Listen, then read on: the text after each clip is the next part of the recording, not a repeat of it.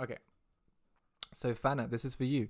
Um, I'm gonna make a little tutorial for you uh, on a, basically a YouTube video because I want to make some YouTube videos eventually, and I just want to see how everything works out basically. Uh, so this is like a little practice for me, and hopefully I can give you some good information. Um, so you're gonna teach my student um, Simon, and um, I, I I told his parents that I would explain to you how how I was teaching him, so you can continue in the same kind of style. Um, so I'll show you how everything works. I'll show you all the websites I'm using and basically what I've been doing. So um, yeah, first of all, I'll show you what I've been doing. Let's have a look. Um, so let's have a look at Idroo. Uh, I'll show you what we've just doing recently. Uh, where is it? There we go. So this is Simon's uh, uh, whiteboard. We went through a lot of different stages. We did a lot of different things. I mean, he literally came with like zero English, and then uh, he worked his way up to uh, speaking English. Um, his dad said he doesn't really like studying math uh, English classes because English classes are boring. So he said teach him like mathematics because he knew how to say like one, two, three, four, five, six, seven, eight. That's about it. Um, and uh, we did a lot of different stages. Like I said, we, we did a lot of just uh, messing around and drawing loads of pictures. And that's actually really good. The, this whiteboard is a really nice platform for you to draw pictures on and um, really communicate with your students. I, I had another girl in uh, in Russia. Um, I taught her how to speak as well, uh, and we just spent the whole time drawing fantastic pictures. He's a really good drawer, like nine years old, like amazing. She had a drawing tablet and everything, like. Um, and because we're just learning English, that that's fine. Uh, that's that's part of the curriculum, right? Uh, you know, draw a picture of a duck and then you say duck, and then draw a picture of a dog and say dog, and say have you got a dog? And say yeah, my dog is. And then you just go like that, and that's really cool. Yeah, you, have, you can actually facilitate a conversation by having something to draw on, uh, by having those visual you know, pictures. Um, right, okay, there's visual pictures. Yes, pictures are visual. All right. Um, so yeah, this is the the whiteboard that he's currently working on. We've had about ten whiteboards. Uh, he's been my student for about a year and a, probably about a year, and um, we are like working through loads of mathematics. You can see all these mathematics um, and Doritos uh, mathematics um, worksheets and I can copy and paste images from Google onto here so we can talk about it in more detail. We talk about to explain the idea of what a reflection is. We're doing rotations, um, reflections, lines of symmetry. Um, and basically, as you can see, I'm using Corbett Maths. Uh, I'll show you the website for that in a second. Um, so the student can write on this and you write on it as too and you write together. So that's really great. Um, and it doesn't matter if you get sidetracked because um, that's that's a picture of Simon. Uh, it doesn't matter if you get sidetracked because, like I said, everything's English. So as long as you're speaking, it's absolutely fine. Um, uh, he does like bananas. He likes bananas a lot. So he, you'll see a lot of bananas on the boards. Um, but we can do basic mathematics and he'll understand the concepts. The good thing is he'll understand the concepts in Polish and then to translate them actually is actually quite easy because it's just like he knows how to do it and then he learns the actual vocabulary related to that task, which is really cool. So uh, here he is. Here's Simon. It's Godzilla, Simon. Yeah, sometimes that happens. Um, no, he's a really cool guy. Actually, it never happens. You know, he gets angry. Um, okay, so there's loads and loads of maths we just did on there, and we're just not. It's not all maths. We do a bit of English as well, but he does like the maths a bit, bit better. Um, I I show you some English resources which I really like to give you because they're really, really useful. Um, I think you can use them quite a lot for students who don't speak any English, like absolute zero. So like if you, I mean, if you got guys who speak English, that's great. But what people who speak nothing? Like how do you even get started on that? Um, so I made a whole lot of resources for this website on this website on this Idroo, um, which involved cutting and pasting a lot of pictures um, and making them. And basically, they follow the Cambridge English uh, levels. So this is pre A1 uh, then there's A1, there's A2, and A, you know, B1, B2, and it goes up. But it's basically just for the lower level to get them speaking because uh, we need some kind of activity to do. So we play games. And uh, like I said, the actual vocabulary is based around the Cambridge exams and the Cambridge uh, workbooks. So they will learn the vocabulary they need to pass the exams if they want to take some exams, which I don't suggest they do. I just need. To, I just thought I'd give it a bit of a good structure, a bit of more um, renowned structure rather than just like, oh, I did some English, learned some English. It's like actual Cambridge English. Um, so you can play some games with them. The students can click on the pointer and you can move these objects around. And the idea is the first activity is you join together the animals with the names. Uh, we match them up, and then we play some games. Uh, we have two pairs of every animal. You can see there's two monkeys there, um, with all the cards mixed up. And then you actually have to cover up the cards. You have to copy and paste this onto our whiteboard, and then cover up the cards. And you take it in turns, picking pairs of cards to find two the same.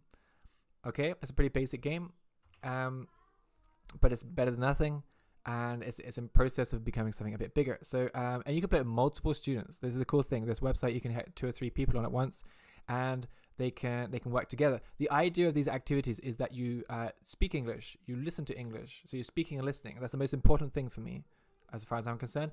Then you are uh, going to be writing it, and then you're going to be reading it. Or actually, going to be reading it then writing it.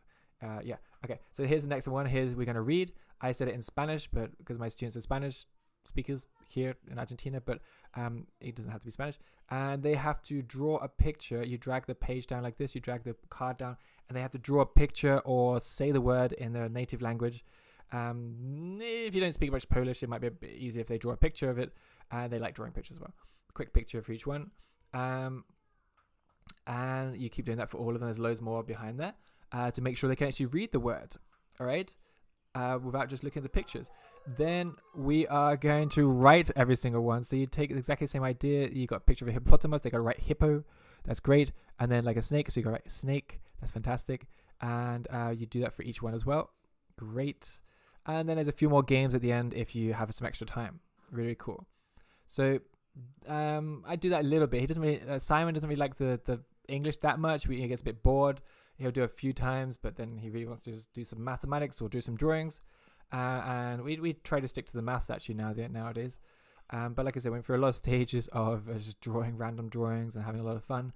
Um, and that was really cool. Um, you know, sometimes the students will resist the classes; they don't really want to study, and then their parents make them, or they're a bit, you know, shy or whatever. So we did that. We literally spent about five classes just doing nothing, just drawing bananas uh, banana tornadoes, in fact. And um, then after that, he, he kind of like clicked and changed and said, okay, we might as well do something. And we started doing other stuff and like drawing more pictures. And then eventually got enough vocabulary to actually communicate. And then we were off uh, doing mathematics. Okay, so I'll show you the websites I'm using. So you can get these websites from my website, uh, which uh, is mrdavidmath.com. Um, oh, yeah, like what do you teach a guy in year five? Um, so I try to make on my website a list of all the different years, all the different curriculums for each grade, and basically a list of what you should be teaching them. So go to year five, for example, under curriculum section, and then um, have a quick look there, and you can see year five, and this is all in accordance with the English British curriculum, but it's pretty much the same around around Europe. There's no big difference around the world.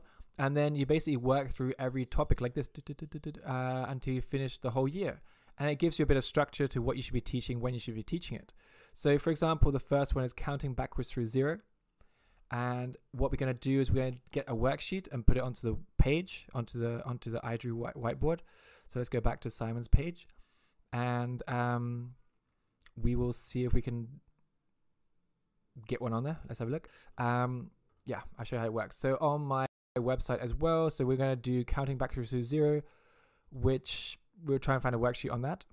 Um, let's have a look on my on the front page. You can see it says um, worksheets. Let's click on that, and I got all these different resource websites, which is really good. Um, or link on the picture. So Corbett Maths Primary is really good for primary school, primary, elementary. I got these two actually. Oh, yeah, hey, look at that. Okay, click on that guy, um, and then it gives you a big old list of different worksheets. So let's see if we can find something. I don't think we're going to find anything on counting backwards through zero, but we can find something on negative numbers. So there's negative numbers right there. Um, there's a whole load of worksheets here. Uh, negative numbers. There's some videos as well, but you know, you're the video, so you don't need that. Click on questions. It'll take you to another link. Uh, click on that, and it'll take you to a PDF. And then we're going to download this PDF, um, and then we're going to upload it. We're going to drag it onto the page. So uh, here's the PDF. I already got a copy, so yes, I'm going to replace it. I it is downloading here on my browser, and then I go to Simon's board. Oh, here it is. And then uh, I already did it last video because it's the second take.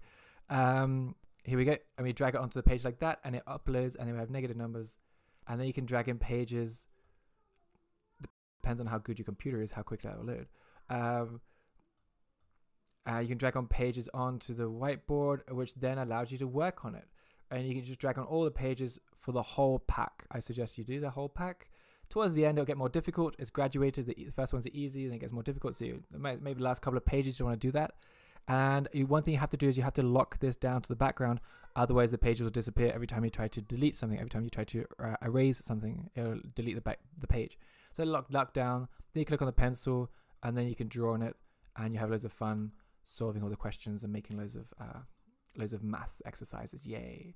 Okay, so that's a really good one. Um, that's the English, the British um, education system for, for Corbett Maths.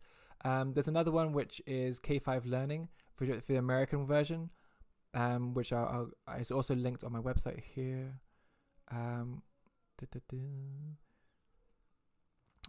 See if it loads up. There we go. K5 Learning. Uh, this is the American version, but it's much more just like rote learning. All the American resources are much more just like, uh, here's a bunch of exercises, do it, uh, rather than like interesting, fun things. Um, unfortunately, uh, they care about quantity rather than quality, I guess. So, um, for example, here's year three. Uh, if I want to do some really basic maths, like, uh, we can do that. The difference is a whole bunch of worksheets, and it's just a bunch of exercises, and they could be kind of boring. Um, there's one more. There's another website I got to link up. Um, okay, so all these different uh, exercises you can do them, and it has all the answers, and it's really good for like emergency situations, or if you want to practice something with some kids. Like uh, say maybe you've got some students and they need to practice their three times tables or their seven times tables. You go to the website, website, you find the appropriate grade for them. Say they're in grade four, and then you say, "Oh, hey guys, we're going to do some practice for the seven times tables because you're not good at your t- seven times tables, and we need to practice a whole bunch of them." And kids will love that. Kids like doing simple activities again and again and again like that, and they will get bored eventually. Um, so I normally do about half hour of the the Idroo website like that. Then um, I do a bit of IXL, so I'm going to give you a login for IXL, uh, which is also linked on my website. Let's just go to IXL. Um, and I, so I'll give you a username and password. I pay uh, a teacher's uh, subscription for about 50 different logins, which I give to all my students. It's really, really good. I'll give you one for free so you can use it. And you can share your password out to your students and they can log in as you and then they can do some exercises. It's just a bit different. Um, so I'll show you. It has English on it and it has math on it. The English is not second language English, it's native English. So it's quite kind of difficult. Um, but it is high level if you've got high level learners. Um, it has some really good exercise on there. You can check out the English. I'm going to check out the math right now. Um, for example, we go to year five, and your students actually have to log in on their account. So make them log in on their computer, make them share screen if they can, and then they do the work, and you um, you watch them and you give them advice. You say, oh, "Don't do that. Do this." Blah blah blah. Um, and they they will work through it. It's a bit more. Um, it's just a different type of activity. Like if you're working on the whiteboard all day long, it gets a bit boring. So it's just a way to switch it up. So um, this is a way to. Uh, they also they're in control, so they, they're typing everything in, and um, uh, they're typing everything in, and they're just much more in control. They just like it. Like so, I know I did about thirty minutes on the whiteboard, and then about fifteen minutes of this or 20 minutes of this maybe maybe more on the whiteboard actually i did quite a lot on the whiteboard um, this is just when things when the students get a bit bored you know when they start to lose focus uh, and they start just drawing like random pictures it's like okay guys i send you a link um, here's some some maths for you to do. Let's do, for example, Roman numerals. That sounds like fun. Um, and they log in on. So you guide them through, guide them to it, and they log in on their account, and then they go ahead and do it, and they get points and prizes, and you know it's a bit more fun. Um, and I do that the last like 10, 15 minutes of a class. So what's I in Roman numerals? Oh, it's one. Uh, what's VII? Oh, I have no idea. What is that? It's 14, 16.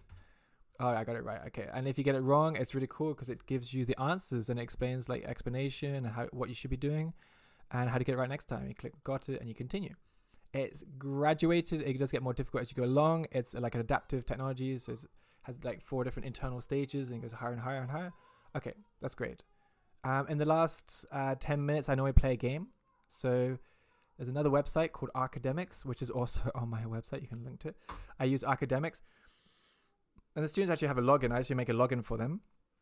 I pay five dollars a year for every student, each student, and it's really really cool because they get like a login. We play some games. For example, um, a really cool game. There's a whole bunch of different math games here. There's a few English games as well. Um, but like I said, they're more, more like native English games. So uh, with loads of different math games. So we're gonna play uh, Canoe Penguins. Now we're gonna play uh, Penguin Jump. That's a classic. That's really good. There's some really good games and some really bad games. And it's a really good game. And you gotta try different ones. Some of them are really impossible. Some of them are really easy. The really easy ones are the best because you can play them super, super quickly. Oh, the idea is it's a multiplayer, right? So you're playing with your students, against your students. You can play with them in cooperative games or against them in competitive games, and people can join from around the world. Uh, there's a couple of people joining right now. Great. And we're gonna jump as penguins because penguins jump, apparently.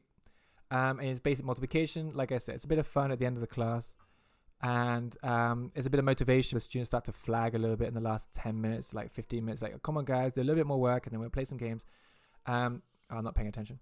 Um, if they don't want to work, then we don't have to play any games, uh, and you can push them a little bit harder because of that. Um, most parents are okay with it. I got a few parents uh, who rather their students just study the whole time, but then after I talk to them, I say, "Hey guys, you know, um, I'm I'm increasing your students, but your your kids' performance because um, they have more motivation. They actually have no problem with it, um, and they get really really good. The kids, the kids are really good. They they'll probably destroy you, uh, like they destroy me um, every time I play. Um, okay, so we could play games. Uh, I'll just try and finish this level. You get like uh, you get points, you get different skins, you get different uh, power ups after a while. So it's really really cool. Another one I use, we play them a lot. I really need some more games. Uh, uh, another one I use is if that doesn't load, I play something like Battleships. So here's